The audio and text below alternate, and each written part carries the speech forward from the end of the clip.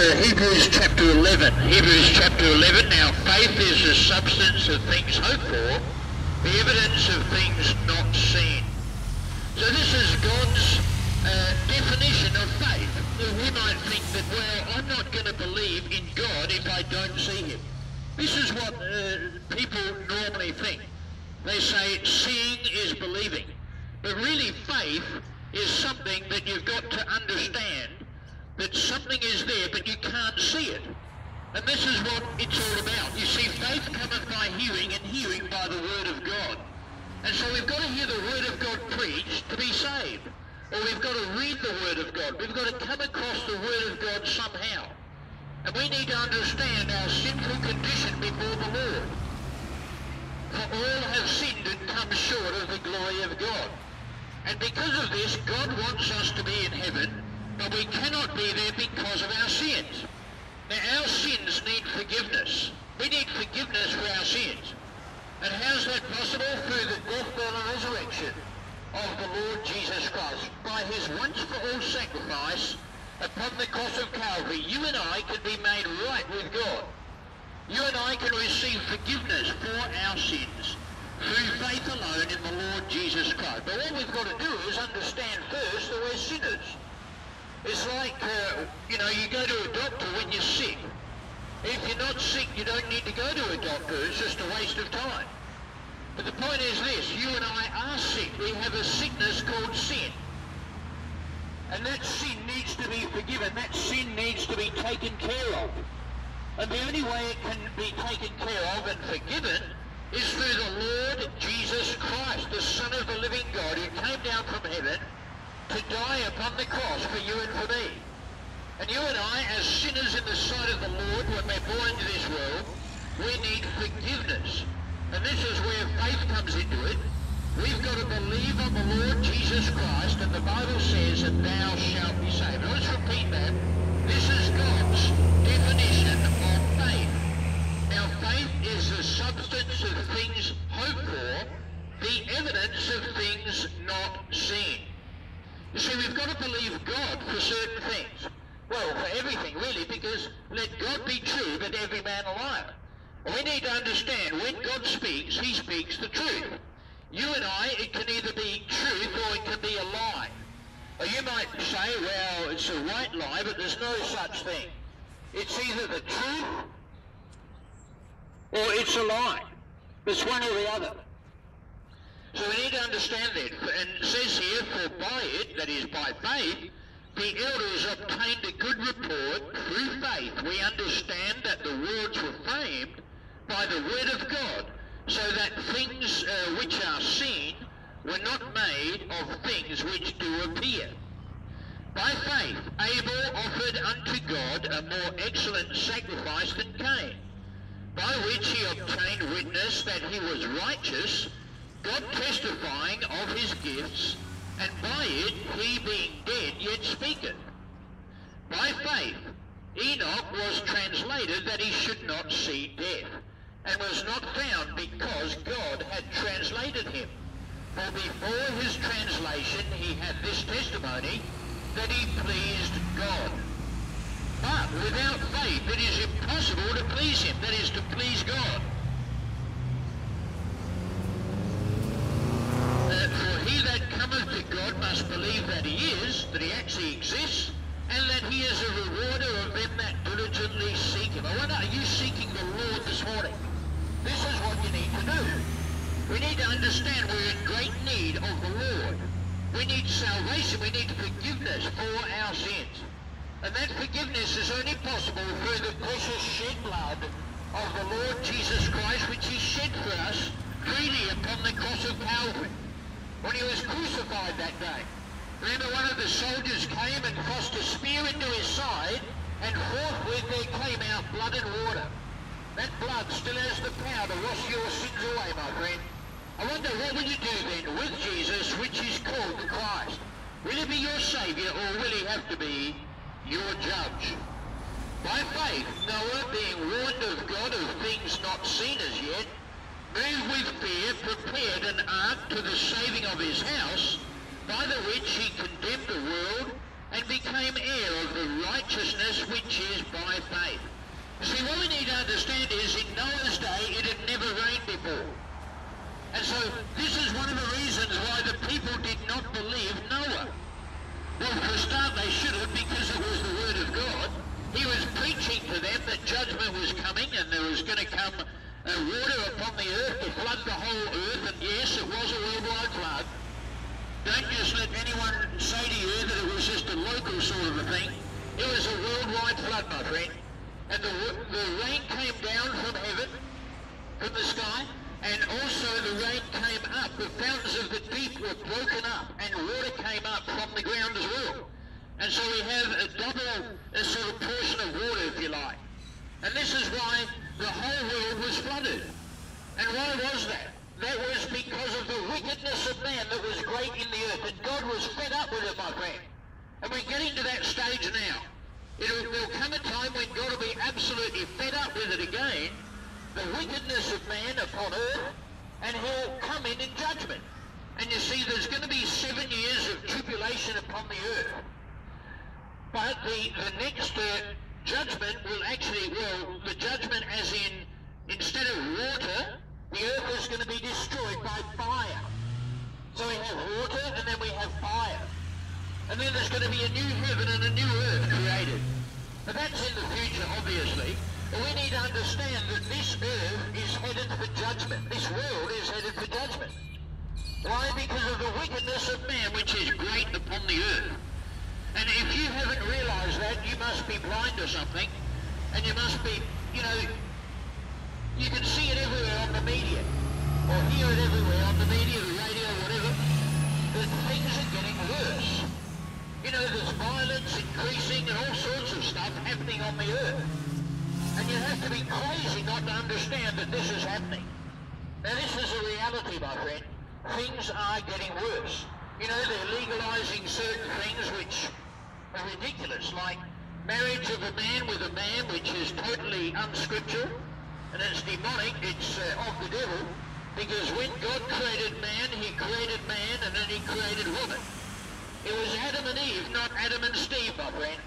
And this is what we've got to understand. God made man and woman to come together in marriage, and physically come together, obviously, to produce children, to be fruitful and multiply. And now we have this craziness that's happening in this world. We have sodomy, lesbianism, all sorts of junk in this world. They shouldn't be here. They're, of, they're not of God at all. They're a reversing of everything that God has, has uh, originally instituted. You see, marriage is honourable in all, and the bed undefiled, but whoremongers, that's fornicators, and adulterers God will judge. And so we need to understand that we are in trouble with God. Why? Because of the sins that we commit. We need forgiveness for those sins. And here we see there's, as we said, that there wasn't any rain upon the earth in Noah's day before this. There was a mist that came up uh, on, onto the ground, but there was no rain. And so here we see this worldwide flood in Noah's day. And Noah warned the people. And the people thought he was an idiot. You might think I'm an idiot. Well, that's okay. I'm here to tell you the truth. I don't really care what you think of me, because I'm just a messenger bringing you the, the message of salvation through Jesus Christ.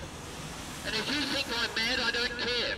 We need to understand we're in a great dangerous situation without Christ as our Saviour, because he'll be our judge at the moment of death. What will it be for you? God wants you to be saved. This is a call to repentance this morning. Repentance toward God, that is, a change of mind, simply agree with God that you are a sinner, and then faith toward our Lord Jesus Christ. Believe on the Lord Jesus Christ, and thou shalt be saved. As, as the Word of God says, it says, faith cometh by hearing, and hearing by the Word of God. By faith, Abraham, when he was called to go out into a place which he should after receive for inheritance, obeyed. And he went out not knowing whither or where he went. See, he left in faith. He went in faith. Because he believed God. This was Abraham. He believed God, even though he didn't know where he was going. By faith he sojourned in the land of promise, as in a strange country, dwelling in tabernacles with Isaac and Jacob, the heirs of him of the same promise, uh, sorry, the heirs with him of the same promise. For he looked for a city which hath foundations, whose builder and maker is God. Through faith also Sarah herself received strength to uh, conceive seed, and was delivered of a child when she was past age. In other words, she was too old to have children, and yet the Lord enabled her to have children, or to have a child. And was delivered of a child when she was past age, because she judged him faithful who had promised. So she believed God that he, he would give her a son, a child. Therefore sprang there even of one, and him as good as dead, the stars of the sky in multitude, and as the sand which is by the seashore innumerable. These all died in faith, not having received the promises, but having seen them afar off, and were persuaded of them and embraced them, and confessed that they were strangers and pilgrims in the, on the earth. For they that say such things declare plainly that they seek a country. And truly, if they had been mindful of that country, from whence or from where they came out, they might have had opportunity to have returned. But now they desire a better country, that is, an heavenly. Wherefore God is not ashamed to be called their God, for he hath prepared for them a city. By faith Abraham, when he was tried, offered up Isaac, and he that had received the promises offered up his only begotten son, of whom it was said that in Isaac shall thy seed be called, accounting that God was able to raise him up even from the dead, from whence or from where also he received him in a figure. By faith, Isaac blessed Jacob and Esau concerning things to come. By faith, Jacob, when he was uh, dying, blessed both the sons of Joseph and worshipped, leaning upon the top of his staff. By faith, uh, Joseph, when he died, made mention of the departing of the children of Israel, and gave commandment concerning the, his bones. By faith, Moses, when he was born, uh, was was hid three months of his parents because they saw he was a proper child, and they were not afraid of the king's commandment. By faith, Moses, when he was come to years, refused to be called the son of Pharaoh's daughter, choosing rather to suffer affliction with the people of God than to enjoy the pleasures of sin for a season, esteeming the reproach of Christ greater riches than the treasures of Egypt in Egypt. For he had respect unto the recompense of the reward. By faith he forsook Egypt, not fearing the wrath of the king, for he endured as seeing him who is invisible. Through faith he kept the Passover and the sprinkling of blood, lest he that destroyed the firstborn should touch them. By faith they passed through the Red Sea as by dry land, which the Egyptians are saying to do or attempting to do were drowned. By faith the walls of Jericho fell down after they were compassed about seven days. By faith the harlot Rahab perished not with them that believed not, when she had received the spies with peace. And what shall I more say? For the time would fa- uh, fail me to tell of Gideon, and of Barak, and of Samson, and of Jephthah, of David also, and Samuel, and of the prophets, who through faith subdued kingdoms, wrought righteousness, obtained promises, stopped the mouths of lions, quenched the violence of fire, escaped the edge of the sword, out of weakness were made strong, waxed valiant in fight, turned to flight the armies of the aliens. Women received their dead raised to life again, and others were tortured, not accepting deliverance, but that they, uh, that they might obtain a better resurrection.